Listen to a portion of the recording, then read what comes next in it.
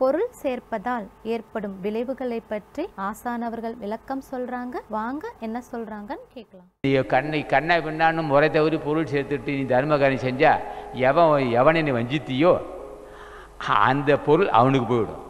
இப்போ ஒருத்தர் ரொம்ப கொடுமை செய்து வஞ்சித்து ஏமாற்றி பொருள் திரட்டுறோம் நம்ம அன்னதானம் செய்கிறோம் ஆம்பாப்பா கடவுள் நீ அன்னதானம் செய் இந்த புண்ணியம் எவன் ஏமாந்தானோ ஏமாந்து கொண்டுட்டு ஏமா ஏமாத்தினியா அது அவனுக்கு போகுண்டா நீ அது உனக்கு நிற்காதுன்னு அதான் பொருள் சேர்க்கும்போது பழிக்க சுருக்கமாக சொல்லிட்டு போகிறோம் ஒவ்வொரு குரலுக்கும் ஒரு நேரமாகும். பழி அஞ்சு பொருள் சேர்க்கும்போது பழிக்கு அஞ்சு சேர்க்க வேண்டும். திரு திருவருள் இருந்தால் திருவருள் இல்லை என்றால் இதுக்கு அறிவு வருமோ? திரு திருக்குறள் திரு அருள்.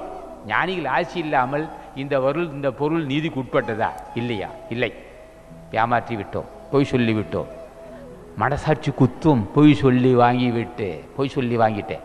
சே சே அசிங்கம். பொய் சொல்லி வாங்கிட்டேன் நீ அப்படிங்க மனசு. அப்போ தான் தெரியும். ஆமாம் நம்ம பொய் சொல்லிட்டேன் ஏமாற்றிட்டோம் பொய் சொல்லுறது குற்றம் இல்லையா? திருவள்ளுவர் துணை இருக்குது. ஆக இதெல்லாம் சுருக்கமாக சொல்கிறான் பழி அஞ்சி பொருள் சேர்க்கும்போது பழிக்கு அஞ்சி பார்த்து உன் உடைத்தாயின்.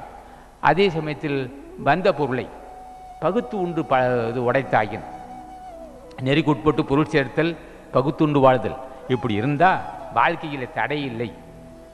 அடா, எஞ்சி பார்த்தோன்னு உடைத்தாயின் வாழ்க்கை வழி எஞ்சல் எஞ்சால் எஞ்சுதல்னாக்கா தடைபடுதல் குறையுதல்னு அர்த்தம். வாழ்க்கையில் குறையில்லாத வாழ்க்கைன்னா அடுத்து சுருக்கமாக சுட்டு போகிறான் அன்பும் மரணம் ஐந்தாவது குரல். அன்பும் மரணம் உடைத்தாயின் இல் வாழ்க்கைனா அன்பும் அரணும் குடும்பத்தில் அவன் சில பேர் என்ன செய்வான்? வெளியில் அப்படியே தேனுலக நடந்துக்குவான் வீட்டுக்கு வந்தால் போதும். மனைவி தாய் தந்தை அண்ணன் தம்பி அப்படியே நடுங்குவான். இதுக்கு உத்தியோகத்தையும் இருப்பான்.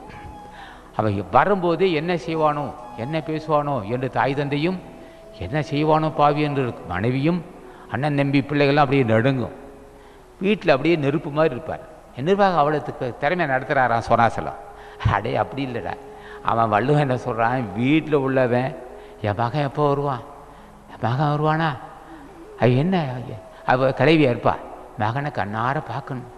இன்னும் எத்தனை நாளைக்கு இருக்க போகிறோமோ எத்தனை வருஷம் இருக்க போகிறோமோ அந்த மகனை பார்க்கணும். அவன் கோட் சுட்டு போட்டு வருவான். அந்த மகனை பார்க்கணுன்னு ஆர்வத்தோடு இருப்பான். தந்தையும் அதே மாதிரி இருப்பான். மனைவியும் எதிர்பார்ப்பா. அப்பா எப்போ வருவார்? அப்பா எப்போ வருவார்னு பிள்ளைங்க கேட்கணும். அப்பா எப்போ வருவார்? அப்பா எப்போ வருவார்னு பிள்ளைங்க கேட்கணும். ஐயோ அப்பா வந்துட்டாரம்மாண்ணா. கொன்னே விடுவாருண்ணா. இவன்னா இவ இவெல்லாம் இ- இவெல்லாம் என் மனுஷன். ஏற்றுக்கொள்வானோ வள்ளுவன்? அன்பும் குற்றத்தை மன்னிக்கக்கூடிய பாங்கு உள்ளவனடா இப்படி நடந்து கொள்வான்? குற்றத்தை மன்னிக்கக்கூடிய பண்பு குடும்பத்தை எப்படி நடந்து கொள்ள வேண்டும்? நீ வீட்டில் உள்ளவங்க மனமகிழு படி நடந்தால் உனக்கு கடவுள் ஆட்சி கிடைக்கும். வீட்டில் உள்ளவர்கள் மனமகிழும். ஆசானது அருளுரைகளை தொடர்ந்து கேட்க அரங்கர் டிவிக்கு லைக் பண்ணுங்க சப்ஸ்கிரைப் பண்ணுங்க. மறக்காம பெல் பட்டனையும் கிளிக் பண்ணுங்க.